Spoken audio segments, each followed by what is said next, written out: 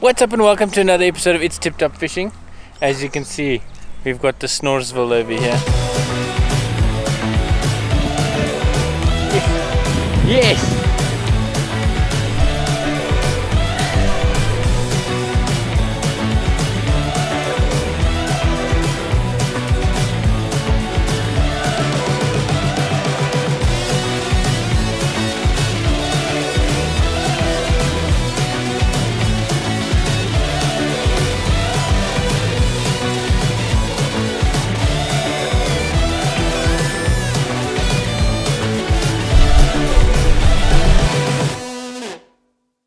What's up and welcome to another episode of It's Tipp Topp Fishing.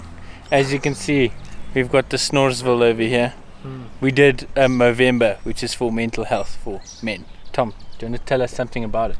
What I'll tell you is that I'm proud to be with the, the captain, founder, chairman, chief executive officer of It's Tipp Topp Fishing today. uh, we're about to go on a trip, but grow your Movember for the month of November. It's just about raising awareness for mental health Yes, and men's issues like prostate cancer, etc. But we're just keen to get on holiday. yes. That's why we all look the way we do. But guys, if you're feeling depressed or anything like that, don't be embarrassed. Find someone to talk to. Get some help. This COVID thing is real, and it's caused a lot of depression and mental health. Nothing to be embarrassed about. Things like depression is perfectly um, curable, and you can get over it and get some help. So, serious note, just get some help. Don't be embarrassed. With that said, shall we shall we uh, shave our snores? Because it's Let's shave the first of snore December. case, In front the Mensa. camera. yes, Okay. you're keeping yours for a character, aren't you? No. You've done no audition. no, that's next next March. Oh, great. So dad, dad, even dad's doing it. We've got some Dewisses in the background here. Okay. Snore, shave, and then let's go on an adventure.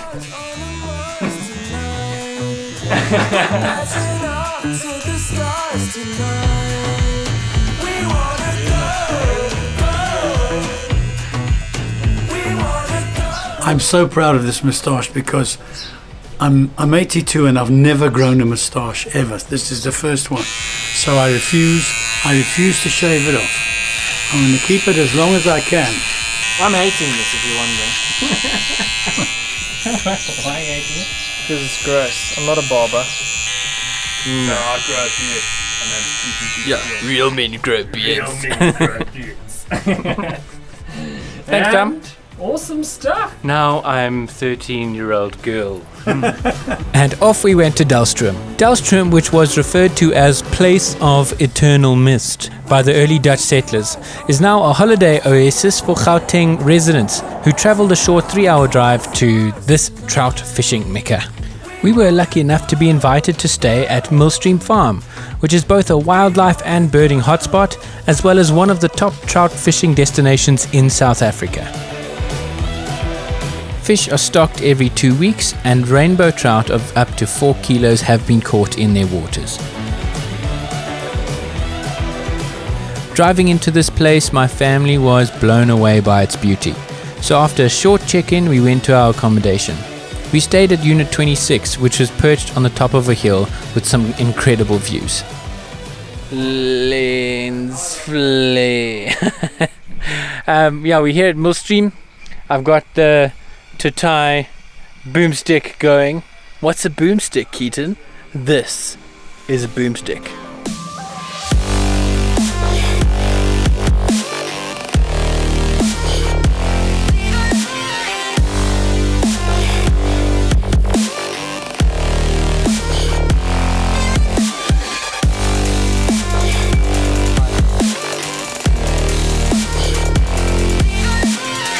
So boomsticks are eh? Basically, what it is is a, a fire lighting device, but this way you never need to buy fire lighters ever again. So you buy the boomstick for about 300 bucks, I think it is, but then you've got it forever and it works for 10, 20 years. So if you work it out, every time you buy some fire starters, 20, 30 bucks. So if you make 10 fires in the next year, the boomstick's paid for itself, and then um, if you keep making fires with it after that, then the boomstick's paid for itself and saved you money. And what's great about it is it just keeps on burning.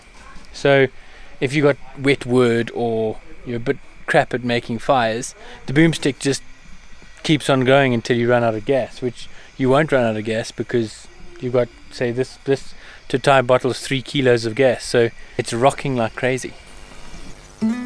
After a delicious braai and a comfy night's sleep, the morning broke.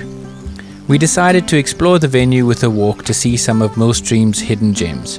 First, we went to the crowned crane enclosures, where we got to see Millstream participating in a captive breeding program for the southern crowned cranes. The southern crowned crane was placed on the endangered list in 2012. Their decrease in population is due to habitat loss and the use of harmful pesticides.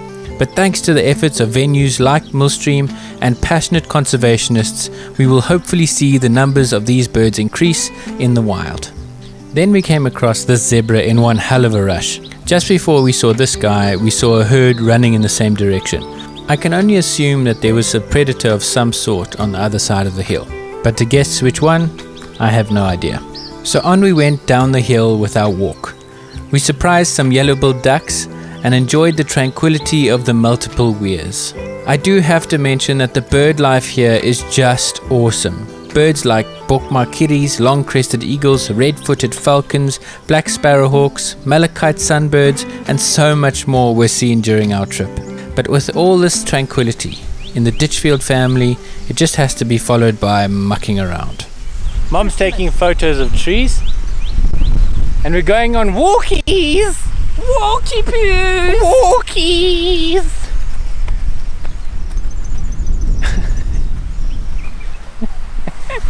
oh gosh. Hey, this place is pretty and it's well looked after. I'm not going to lie. Everything is mowed perfectly. All the dustbins are empty and there's plenty of dustbins. So these three pawpaws found a bench.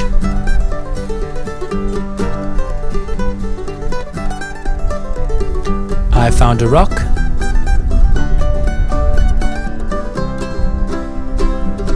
Dad then took over the camera to film some Oscar winning stuff.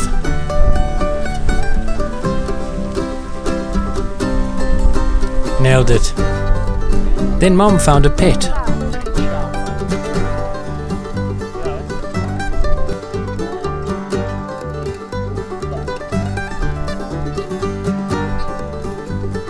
Tom decided to do his own version of the Olympics.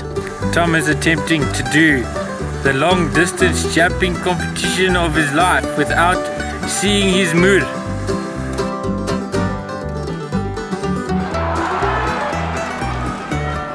It was very soon after that that we saw a sign that said, The stones on the weirs are not for walking on, and are instead for breaking the water current. Whoops.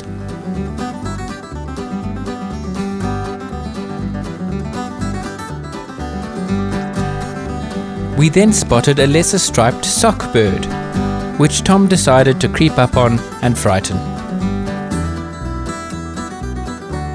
my incredibly world class and Academy Award winning filmmaking revealed that the stalk was still on, with Carmen being totally unaware of Thomas's very graceful version of bundu bashing.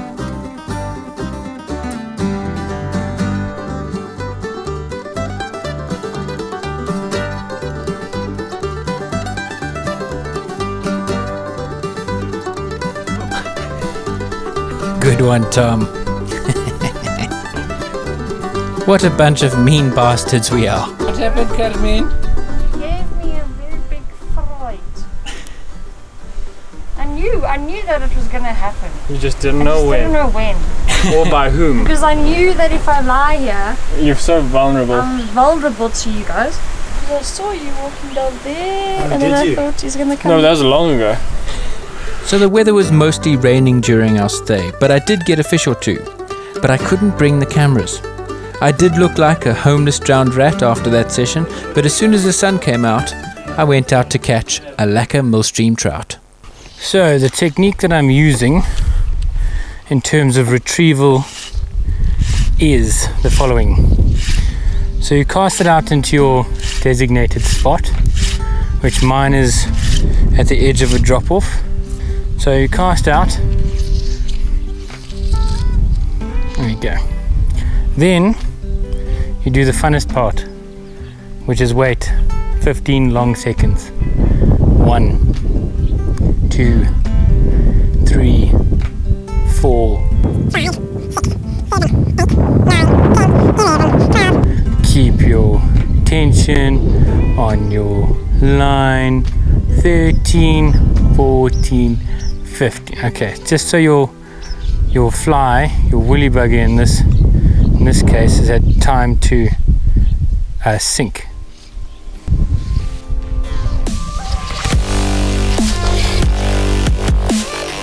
Yes, fish on.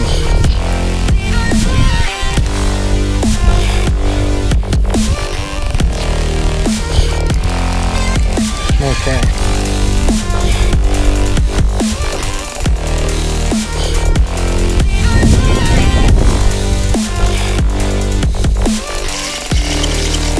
Woo! Yes!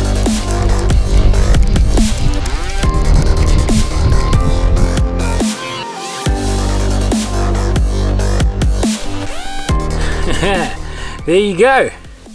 Lovely little rainbow trout. This guy's probably going to be dinner. How amazing! I'll show you the technique now. Then you give it short, quick jabs. Just like that. Jab, jab, jab. And feel free to mix it up a bit. So you can go uh, jab, jab, wait, jab, jab. You can make up some fun drumming rhythms. So jab, jab, jab, jab, jab, jab, jab, jab, jab, jab, jab, jab, jab, jab, and just make sure your fly gets deep enough, especially in summer, because in summer the fish tend to go further down. Um, yesterday it was raining, so the fish are up at the top. So I didn't have to wait 15 long seconds to get the line down.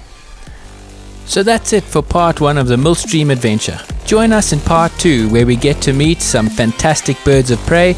Dad tries to hug a Harris hawk. I go horse riding for the first time and really injure my. I'm not good at that. I'm just bouncing, bouncing my nuts on the ground, the bloody saddle. We also meet and interview an expert of Millstream fly fishing. David, a fly fishing guide and bailiff of Millstream, takes us through some brilliant fly fishing tips and tricks.